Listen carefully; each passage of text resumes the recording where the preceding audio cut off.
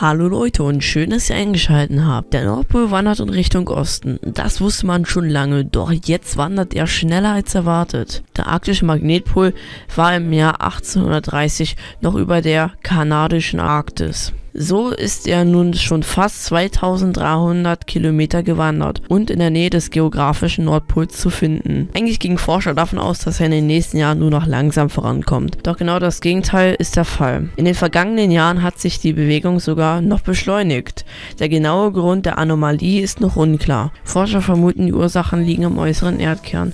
Dort gibt es eine Art Jetline im flüssigen Metall, der sich dreimal schneller um den Nordpol bewegt als das übliche Metall. Das war's auch schon mit dem Video.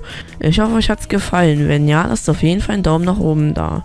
Und abonniert den Kanal, um keine Videos zu verpassen.